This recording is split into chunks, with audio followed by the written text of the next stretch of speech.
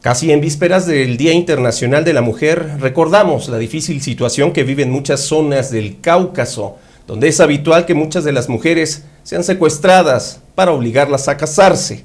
Hasta hace poco también lo era en Chechenia, donde ahora las autoridades amenazan con encarcelar a los secuestradores.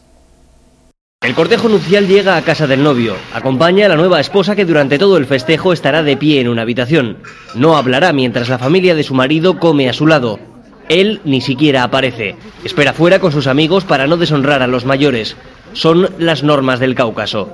En este caso, dice la familia, el matrimonio ha sido por amor, pero muchas veces no es así. Vídeos como este muestran el rapto de mujeres jóvenes en plena calle obligadas a casarse, a veces con hombres a los que ni siquiera conocen. Sargán decidió romper la tradición. Aguantó más de un año casada y se divorció, casi una herejía en Chechenia. Ahora su familia la ha aceptado después de repudiarla durante años.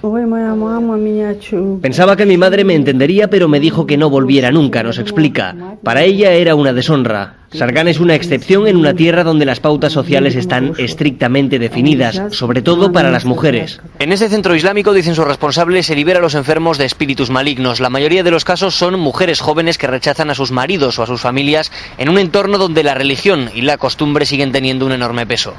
Ansor nos enseña sus métodos. Leen versículos del Corán a esta mujer en plena crisis de histeria.